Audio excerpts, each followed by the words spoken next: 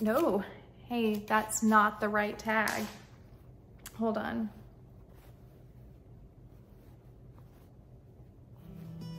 Okay, I don't have the right tag.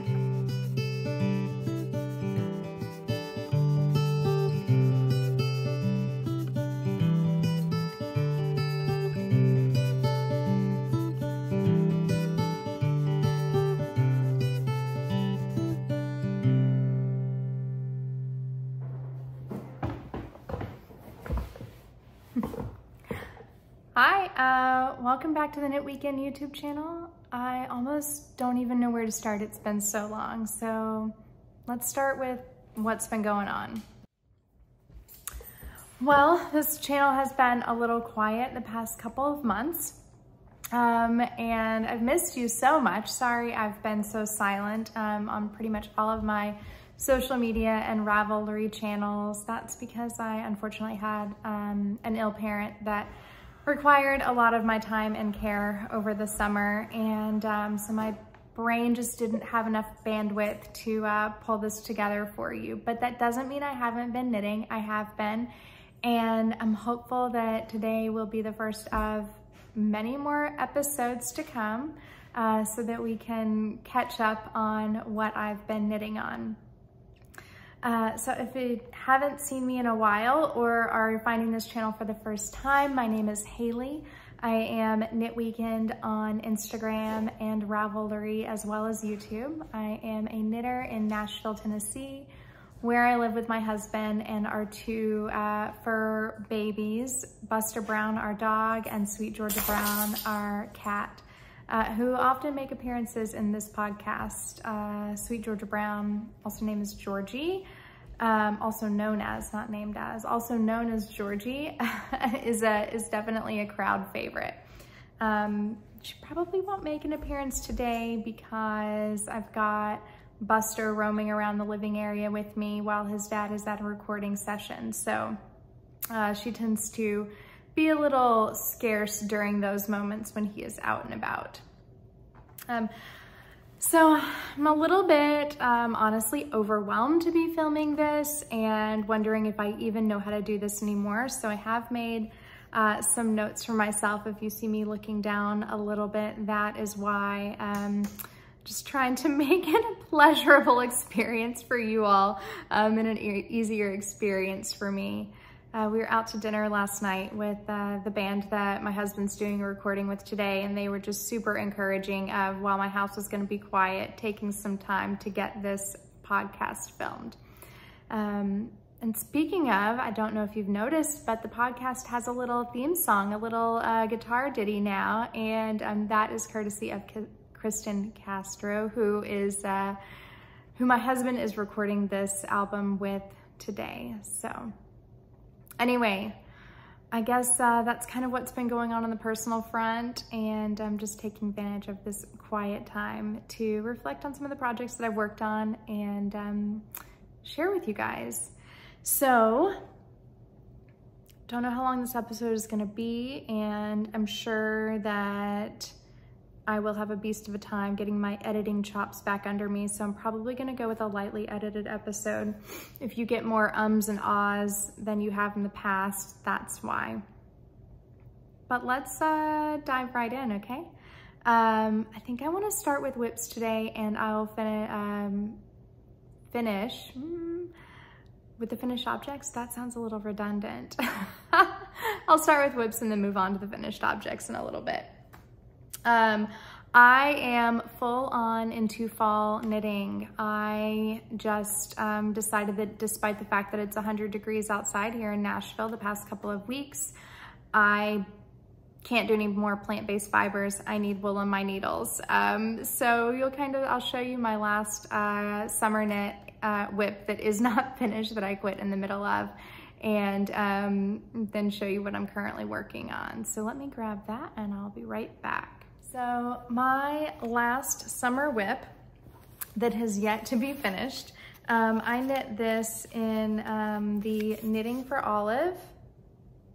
Got to get this focus back under my belt. Knitting for Olive Pure Silk in, no, hey, that's not the right tag. Hold on.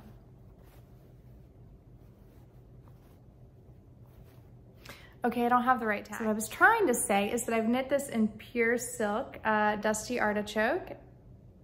There you go, so you can see it. And um, I've held this double. The funny story about that is I was watching, when I first started this project, I was watching a podcast. I honestly can't recall which one. And I'm also behind on all my podcast viewings. I have no idea what's going on in anybody else's lives. I really need to spend some time catching up. Um, but anyways, watching a podcast and the podcaster said that she loved pure silk, but she could see zero reason to ever hold it double to knit something. And as I was sitting there knitting my project while holding the pure silk double, I thought, meh, okay, but I'm gonna do it anyway. Um, so this one was a little painful for me, even just getting going, honestly, um, because of the swatching. This is a all over lace tank top by Sari Nordlund. It's called the Florence Tank. It is beautiful. I love the kind of vintage uh, vibes that it gives. Um, but I really had a tough time meeting gauge. And it's been so long since I knit this that I can't tell you what size needle I used. I'm hopeful that I put it on my Ravelry, but no promises. I think she knitted it on 3.75 and I was on something like a four and a half or a five, um, maybe even a five and a half. Oh, I did better. I'm, I'm so good sometimes, even when I don't think that I am. I knit it on five millimeter needles. There we go. I did put it on the swatch. So anyway, um, this is my nice big swatch for, for the pattern. And um, that's the lace pattern that it makes. And it took me, I think, three or four swatches to get that right. Um, but I just kept on trying until I did. And I questioned at that time, was this pattern gonna make me miserable or was I going to enjoy it? Um, little bit of both and I haven't finished it which at this point, I feel that it probably won't be finished until next summer. Um, just because like I said in my brain, I've completely moved on to fall knit. So the only thing that I lack on this, buttons and to seam the uh, straps to the top of the, the garment. I'm having a hard time picking this up to show you because it's kind of in a wonky stage, but um, it's an all over lace pattern. And uh, this is one side of it. So you knit it flat and um, then knit each of the kind of straps. So let me see if I can show you how this should lay. Hopefully I can do this without knocking everything over. Okay, here we go. So it lays like this. Does that help? Can you see? Let me see if I can tilt this down a little. There you go. So you can kind of see how that would lay. And then you have to attach the straps in the back, which I have not done, nor have I gotten the buttons for the front yet either. So I'm gonna say we're at like, hmm, what maybe I'll see now I'm all wonky. This is why you don't move the camera in the middle of the podcast. Um, I'm gonna say we're at 80% completion on this, maybe even, we may be even able to call it 90%.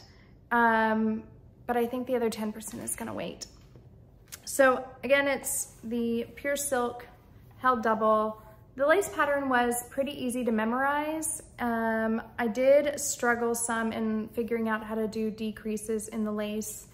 Um, Thankfully, due to euphoric recall, I can't recall what problem I had, but if you'll notice, kind of in my size, the lace pattern stops pretty early on. I wish it had gone a little further up into the pattern um, or up into the strap, but I just couldn't make that work.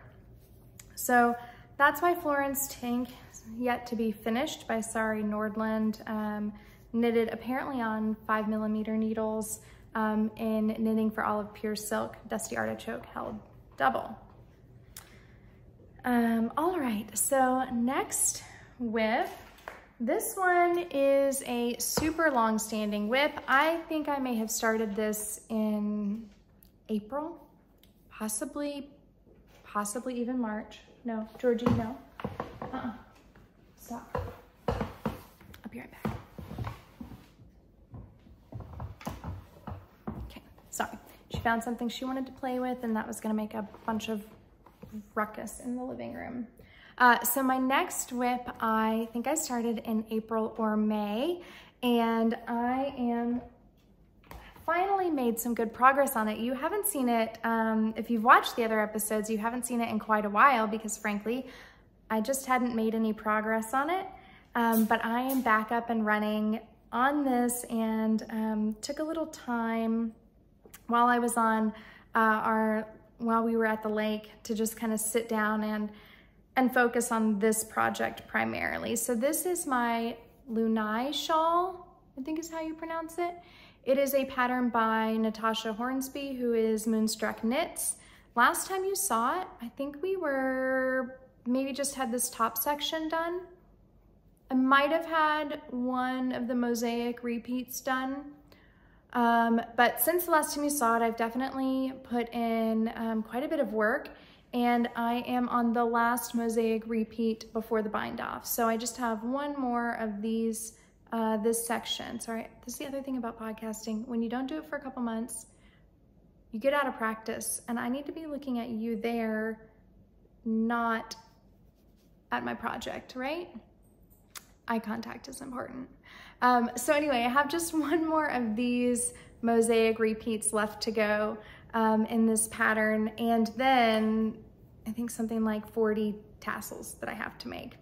Uh, so this yarn I'm using for this, I'm using uh, my Holst Garn Super Soft Cones um, in Ecru. It is so pretty. And then also in this light gray we getting any focus on that? Oh, we're focusing on Georgie's face. Uh, not only do I have to contend with my own, but also now hers. Um, so Holst Garn are my two primary colors, and then my contrast color is, um, oh, and those cones, if you're in the States or um, I guess North America actually, I purchased those from Wet Coast Wools um, in British Columbia, Canada. And I think she said she does a pre-order on those a couple times a year. So if you're looking for Holst Garn Super Soft Cones, that's where you can find them. Um, and then my contrast color is this gorgeous Isager Deep Marine Blue Alpaca 2. You already know, if you've watched the other episodes, that I bought just a ton of this for my Vertices Unite shawl. Um, having not been able to decide on colors, I think I bought eight and I've just been working through them.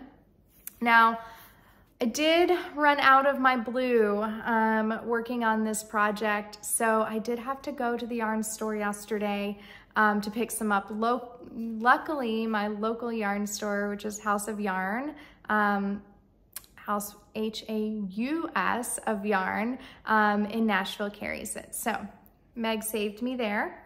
Um, and now I can start working on this again. So if you've not done mosaic knitting before, I love it. Um, hopefully you have given it a shot, but basically you're just knitting with one color at a time and then slipping the other uh, color strand uh, as you go. So it's, it's a pretty relaxing, um, technique actually, I think, and, but yet entertaining all at the same time.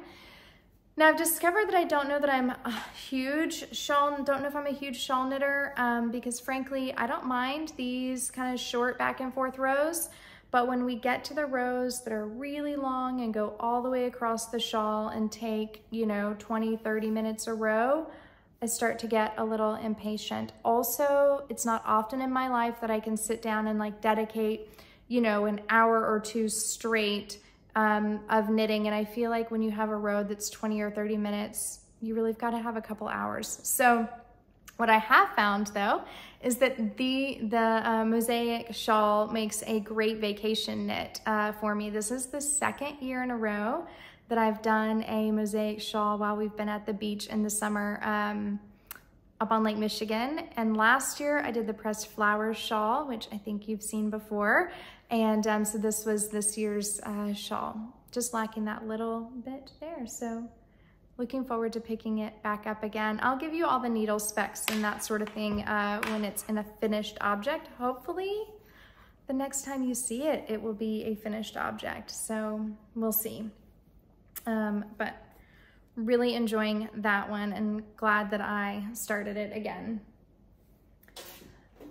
So that's two whips, um, which means that I have three is a little unusual for me because normally I'm kind of a monogamous knitter or I have one big project whip and then a couple smaller whips. But um, having ditched summer knitting and headed straight into fall, I decided to cast on this gorgeous, gorgeous yarn that my husband uh, purchased for me when he did a trip to New York earlier this year. I don't know if this yarn's gonna show up well, so I may end up having to put in some B-roll for you, but uh, he went to, to New York, um, kind of the Woodstock area of New York, and I, of course, said, oh my goodness, you have to go to uh, Perfect Blend yarn and tea shop and don't come home without copious amounts of yarn. Um, so, so I kind of sent him with some options of yarns that are local to that area that I would like to try. Um, and so he picked out this yarn of the options that I sent him. It's, it's just, it's really stunning actually. Um, so this is Jill Draper Makes Things. Is it focusing at all? There we go. Jill Draper Makes Things in the um, base of Kingston. This is a DK weight 100% Targhee wool. I think that's how you pronounce it, is it?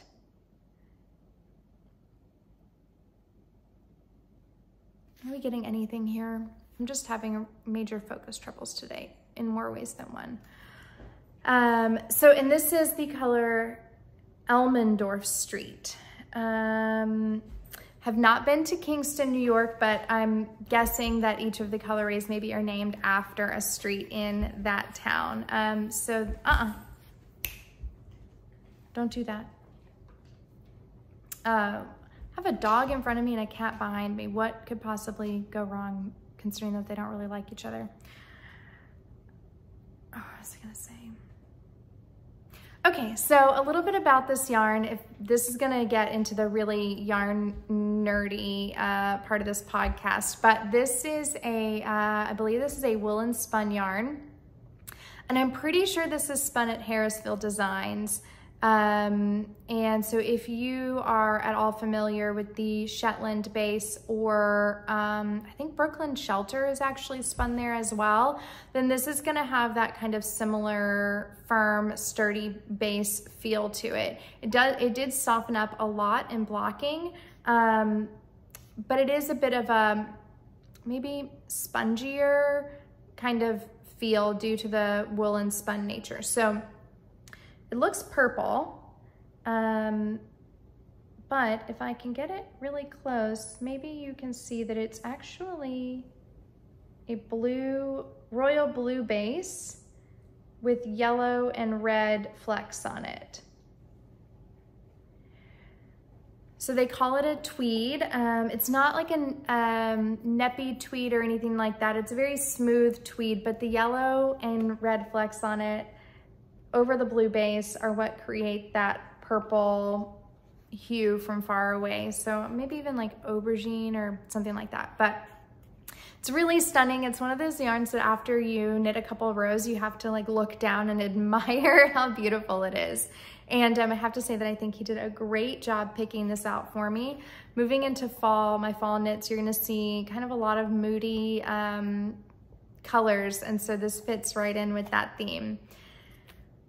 But it took me a while uh, to decide what to knit with this and I searched pattern after pattern. I wanted something that, um, I knew I needed something that wasn't gonna have much drape, a pattern that was gonna have a bit more body to it. And I wanted something that was really going to let this gorgeous yarn shine without, um, you know, kind of too much fuss. But I didn't want something that was plain stockinette because I had just wrapped a stockinette pattern um, or project, which I'll show you in a little bit. Uh, so I spent some time searching and I came across the Gloam cardigan uh, by Caitlin Hunter. And I loved the earthiness, uh, the earthy vibe of the cardigan and the subtle purl bump details. Um, and then the rest of the cardigan is pretty much stockinette, which uh, allow I thought would allow for this to shine. So I have the two front panels. It's a seamed cardigan, which I know would scare probably most people off, but I'm just gonna go for it. Um, I have the two front panels blocking right now, and but I thought I would show you the back panel. Let me just pick some fuzz off of it. Um, this is the back panel. Don't know if you're getting any focus because I can't see you, but hopefully you are. Um, and hopefully you can see that lovely purl bump detail on it. We'll find out, I guess. Hopefully it didn't blow out too far. So, okay, so it's a gorgeous purl bump detail on the top, very subtle, and then the bottom of the cardigan is just stockinette. I have not put on the hem yet because frankly, I just couldn't decide on, look when the light hits it, how gorgeous that purl bump is gonna be. Oh man, yeah. Anyway, I couldn't decide on the length. Um, she says to knit it to seven inches after you finish the charted section. Um, but I went with five and a half and I'm pretty pleased with that. Uh, so my plan is that once I get the front sections um, off the blocking mat, then I'm gonna seam the shoulders and kind of uh, see how it lines up because I think this is a pretty boxy cardigan. It's not one of her more popular patterns, so, um, but I have seen some people do it shorter cropped and some people do it longer. I think on my body type and how I plan to wear it, probably the shorter crop is gonna be the best option for me. So, um, anyway, I am working on, um, on this project now. I hope to have it done. Well, no, I don't hope to have it done. I don't know. I, I know I'll have it done um, in time for October um, because I am planning to go to Rhinebeck, which is very exciting. Did I bury the lead there in the middle of the episode? Maybe a little bit. I'm trying not to get too overly excited just yet. Um, but I am planning to go to Rhinebeck and I just thought this would be a really special cardigan to take with me and wear considering that that's kind of the area of the country that the that the wool and the yarn and everything comes from that area and was purchased there to begin with. Um, so yeah, so I guess this would be my uh, road to, what's, what's the hashtag? Road to Rhinebeck? Road trip to Rhinebeck? Road trip to Rhinebeck? I think that's it. Um, KAL entry, right? Maybe along with my shawl. I'm determined to have that finished before I go as well. Tassels and all. I'm not, I'm not skimping on the tassels there. Even though that's really tempting not to do the tassels, but it's the details that matter, right? That's what makes a project really shine. So anyway, that's my start of my Gloam cardigan. And um, so my goal for probably the next time we're together is to at least have it seamed and the sleeves done um, to be determined on if I'll have the button bend picked up or not. That will just be a surprise for later on. All right, so those are my three whips that I have currently going on. Um, and I'm gonna decide that the, that the Florence tank, now that we've talked about it, now that I've shown it to you, it's going into hibernation. So that gets wiped from the whip chart. So now two whips, My podcast, my rules, right? Yeah. Okay. Um, how about on to finished objects? I have two finished objects today to share with you. I have some others, they were smaller gift knits and um, I don't know, I think I wanna keep this podcast a little bit on the shorter side for now because frankly, I'm a little bit overwhelmed by the editing and generally if I do a short podcast, the editing is a little bit easier for me. Um, and also because I don't want to show off the gift knits just yet. Um, they're for some upcoming special dates, we'll say. So I'm gonna hold off on the gift knits and I'm just gonna talk to you about my personal, what do we, I hate that term, selfish knitting projects. we all say we hate it and then we use it. So my personal knitting projects. And um, I have two of them. Yes, I'm wearing one. But I'm not gonna do this one yet. Um, first, I will show you my poppy tee. Now, I don't typically get into or do a lot of uh, petite knit or my favorite things um, patterns just because they tend to use um, a lot of stockinette and, and um, a lot of yarns held double and those are things that I can only do so much of because of just needing something to entertain me and also the cost of mohair plus whatever base yarn you're using. Also, there are so many amazing designers out there that um, I feel like you know those. And so I try to choose something that's just maybe a little more off the beaten path. But that being said, um, I am so lucky to have two knitters in my neighborhood, uh, Kat and Victoria, and we decided we were going to do a little knit along for August. Um, we all wanted to knit the Petite Knit Poppy Tee, um, and in our area, it's gonna be a transitional wardrobe item for fall um, because we just don't wear mohair and wool in the summer here. Um, but we all decided to knit the poppy tee in Knitting for Olive, Merino, and Soft Silk Mohair held together. Chose different colors. Um, I went with the Clover Green. And um, this color was very fun, uh, a lot of good memories because my husband actually chose this color when we were in uh, Copenhagen back in April. So um, I went with the Clover Green and I think um, Victoria did Dusty Violet and Kat did Deep Petroleum Blue. So we had a pretty good gamut of all the colors there. And we met over cocktails to cast on um, which maybe wasn't the best idea because we started to lose light and we all had to rip out our cast-ons and start over.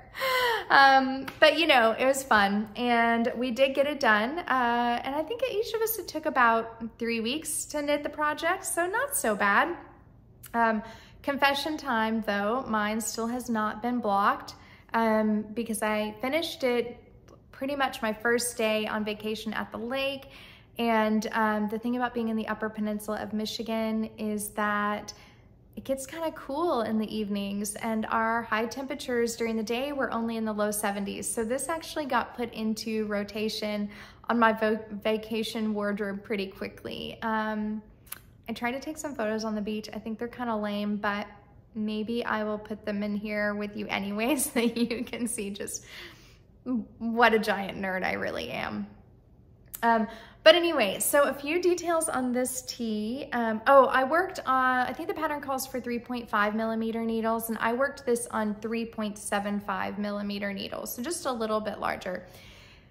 it is a small needle, smaller needle size, um, but it actually went pretty quickly due to the construction, I think. Um, it is only slightly raglan, but for the most part, the shoulders have a really unique pickup construction. It's the same that I used on my Moulinet cardigan that I think I told you about in episode one or episode two. One of those two, I was working on it. Um, and I love this shoulder construction. It's one of my favorite shoulder constructions. It looks so tailored. Look at the line on that. Isn't that just gorgeous here? So pretty. Um, and then it kind of has a little bit of a squaring effect when you wear it on the front um, as well. And then the other detail that I really love about this one is the purl bump detail along the neckline. Can you, sorry, I'm getting shadow on my face. It's kind of a weird time of day and I'm between two windows, but um, this gorgeous purl bump detail is on all of the, uh, focus, yeah, on the cuff of the sleeve and along the neck and also on the hem here as well. Um, so those are my favorite details about the poppy tee and it's also just such a great memory. I, if you have any knitters in your area, pick something that you all want to knit, do it together. It really makes the project so much more fun and you cheer each other on and stay motivated to carry on. Um, so we're all now done with our tees and um, Victoria is 512 knits on Instagram and Kat is the Thriving 20s, and I think they have both posted theirs. Um, I know Victoria posted hers recently. Not sure about Kat yet, but anyway, you can see their versions there. I mean, it was just such a fun experience.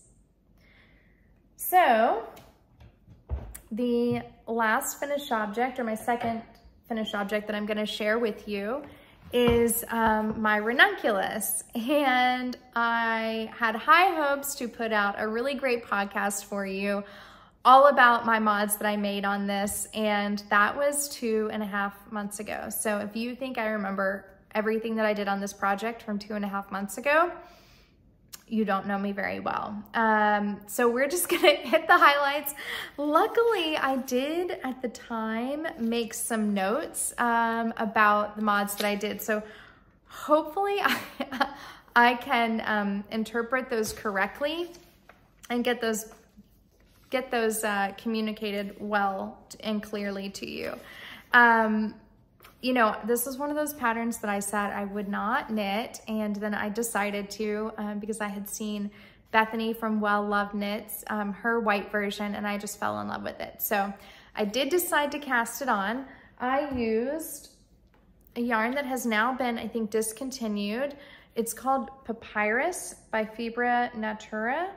Are you getting any focus on that? This is a Cotton, 78% cotton. Goodness. 78% cotton and 22% silk yarn. Um, and it just, I'm not a huge cotton person, as I've said a, a hundred times before, but this cotton is very kind of lightly wound and has a bit of kind of loft to it that you don't normally see in a cotton yarn. Um, so I will just go ahead and tell you that this tee has been in high rotation. I have worn it at least once a week since I finished it, if not more. I absolutely love it. And I can see why it is such a popular pattern. I mean, it's adaptable to pretty much any yarn and any season, uh, which is very cool. And I really didn't use that much yarn. I believe I used five, um, 550 gram skeins. Yeah, so really not that much yarn. Um, and then I think the other thing that's pretty neat about it is that all the sizes start with the same yoke. Um, and then you just kind of carry on based on your size after that. So I started this. I don't know what that means. All right, okay. Well, I started this as an experiment in um, knitting at a very different gauge than what was called for because I believe the pattern calls for a 14 stitch gauge. I actually knit this at an 18 and a half stitch gauge. Um, I don't have my row gauge written down, but that was also a very different number.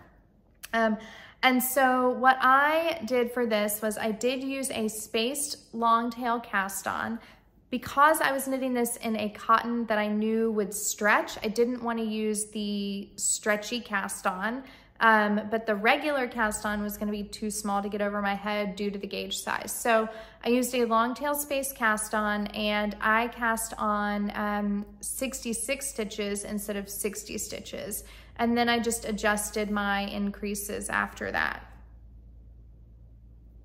I think my yarn guy is here, so we'll have to see how this goes. Um, I didn't make any adjustments to the, to the yoke other than the fact that I messed this up. um, yeah, I think what happened here is that I purled in the middle row between the two purl slip rows. And so that created this kind of bigger garland effect. And um, I just kind of decided to roll with it.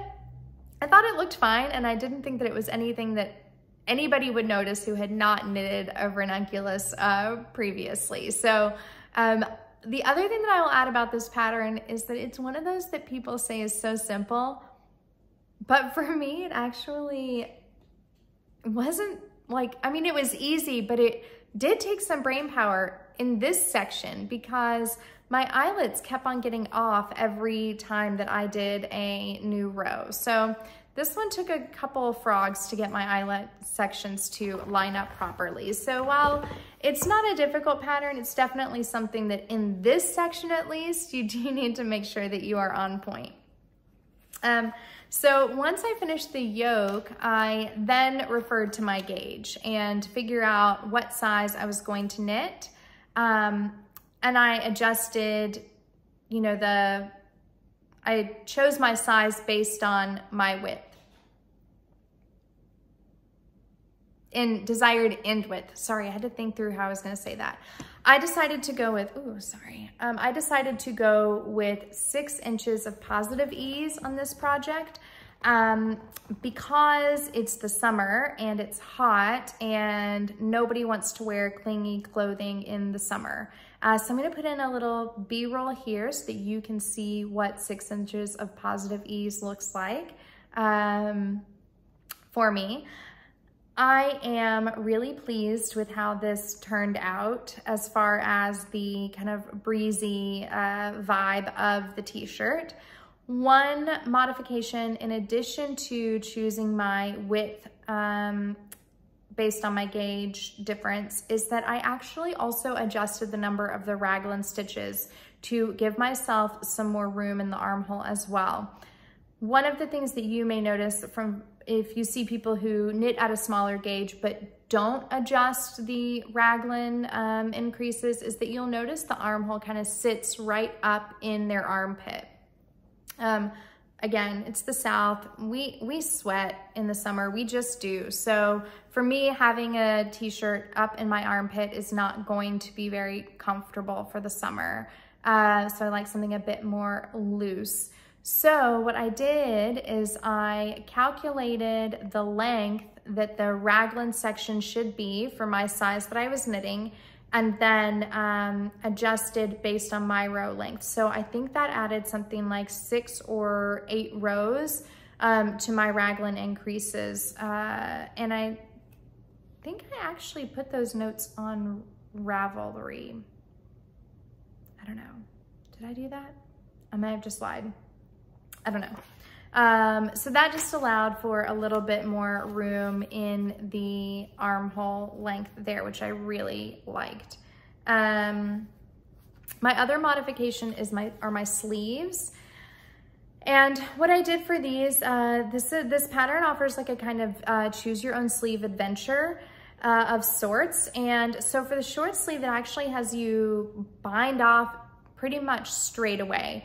Um, but I decided to go with the long sleeve option and then I ended up doing the kind of slanted um, or angled long sleeve option to use some short rows to build in some more length for the sleeves so that they would be more even across as opposed to kind of sit like this. Now they sit like this, which I prefer. And then I went back to the short sleeve option and did the bind off um, that the short sleeve option called for was really kind of um, torn on the bind off because I don't particularly like, uh, most people do the um, twisted rib bind off on the sleeves, but I don't particularly like this yarn in the, or the twisted rib in this yarn. It's just, I mean, it's fine for the neck, um, but I didn't really like it very much on the sleeves. So then I thought, um, well, maybe I would do a folded hem section on the sleeves and um, I don't know, that just seemed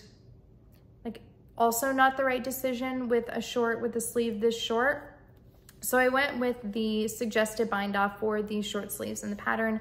I am pretty pleased with it. I think one of them bound off a little looser than the other. Um, and if I were really upset about it, I would go back in and fix that, but I'm probably not going to, just being honest um, because I've worn it so much and I've loved it, so why mess with it now? Um, and then my other modification was I did just go in for a folded hem. Um, since I was going for a t-shirt vibe on this, um, yeah, I just did a folded stockinette hem with a purl Ridge fold um, and then tacked it down as I went with live stitches. So um, hopefully I include, remember to include some B-roll here so that you can see what that hem looks like as well. Yeah, okay. Hopefully I did that. So um, that is, oh, I also had my first kind of attempt at waist shaping for this, which I didn't maybe execute the best. Um, I placed my waist shaping in the wrong place. It was very subtle waist shaping, so it's not a big deal. I think it still looks nice. I'm not gonna go back and fix it, but one of the things that I see a lot when you, or I have experienced is when you knit a circular yoke, you kind of sometimes get a flare out um, of the body. And I, and I didn't want that for this project. I kind of wanted to pull it in a little bit. So I did put some, um, some decreases in the front of the project. I spaced them though a little too close to the edge of the body and I should have spaced them a bit closer in um, under my bust. So does have a little bit of a, a droop in the front of the shirt. It's not very noticeable. I don't think anybody notices it except me, so I'm just gonna leave it there. But um, but if you're interested in trying that, I think that that's a really nice addition to this pattern is to add in some waist shaping, um, some decreases. And then I actually did go back and then also do the increases as I got closer to my hips so that I built that um, width back in there. Um, so yeah, so my ranunculus, it's done. Do I think I'll knit another version? I don't know. I don't know that I'm one of those um, ranunculus knitters who's just gonna turbocharge them out. Um, but I do really like this and um, maybe there would be a winter version, but you know, I'm pretty satisfied with my summer version for now. So I think that catches us up on all of the projects and um, WIPs that I have going on.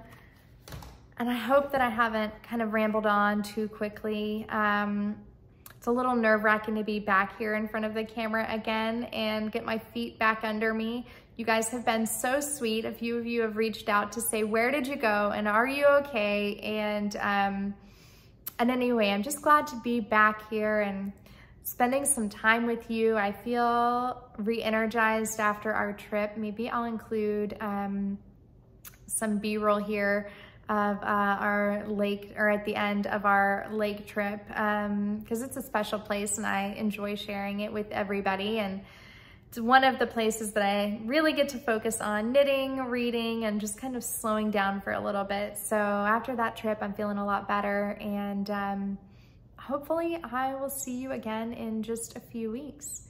Um, we'll talk then. Bye.